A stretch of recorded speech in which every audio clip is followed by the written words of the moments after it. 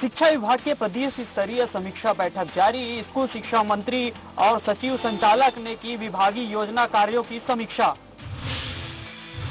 दरअसल शिक्षा में गुणवत्ता और व्यवस्था सुधारने के लिए प्रदेश सरकार भरसक कोशिश कर रही है। इस कड़ी में आज स्कूल शिक्षा विभाग के प्रदेश स्तरीय समीक्षा बैठक राजधानी रायपुर के न्यू सर्किट हाउस में रखी गई। मंत्री प्रेम साय सिंह टेकाम, विभागीय सचिव संचालक एस प्रकाश ने राज्य स्तरीय बैठक में नवीन भर्ती पदोन्नति नियमानुसार संभाग स्तरीय सूची अनुकंपा नियुक्ति के लंबित प्रकरण, व्याख्याता के विषयवार रिक्त पदों की जानकारी हाई पावर कमेटी में पेंशन प्रकरण, लंबित पेंशन प्रकरणों की जानकारी, शिशु शिक्षा केंद्रों पर चर्चा, जिला एवं संभागीय स्तर के पदों की पदोन्नति, शिक्षक संवर्ग की नई भर्ती के साथ शिक्षा के अधिकार कानून, छात्रवृत्ति, शाला प्रबंधन समिति समेत कई अन्य मुद्दों पर समीक्षा की। समीक्षा बैठक में सभी जिलों के डीओ, बीओ मौजूद रहे।